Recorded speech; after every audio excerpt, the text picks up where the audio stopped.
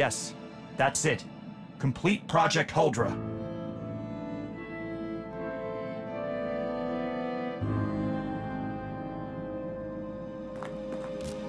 Ever since you went away, I've been lost. It's like you took a part of me with you, and it left a void. I feel your pain, darling. I'd do anything to make you whole again. I know, but I get it now. This is what I am supposed to do. Huldra has the power to change everything. Not only for us, but for all the people out there like us.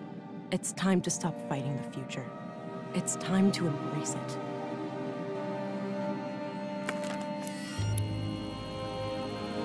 It's marvelous.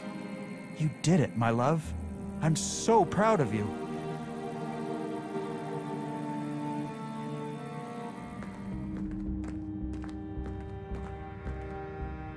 Thank God. Is that... is that him? Is he okay?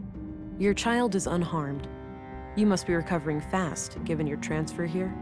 I'm alright. The headaches are almost gone, and I'm getting my energy back. What happened to Stina? Deceased.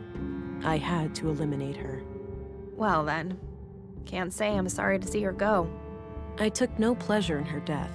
She simply left me with no choice. Now, look at your child, Katerina. Don't you think his eyes are a captivating shade of... blue? I see what you mean.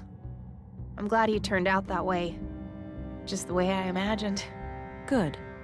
Now, I think you're well enough to travel. Wouldn't you agree? Absolutely, I'm, uh, ready to face the consequences of my actions. I'll take it from here, Deputy. Open the cell, please. I wasn't informed of that, Agent. I'm informing you now. I'm bringing her to the city so she can stand trial. Oh, okay. Just a moment.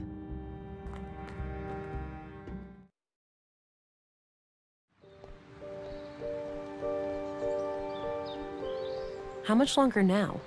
About a day's walk, at the most. And you're absolutely sure that we can trust these people?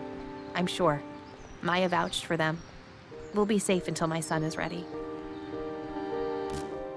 And then, my love, we can finally be reunited.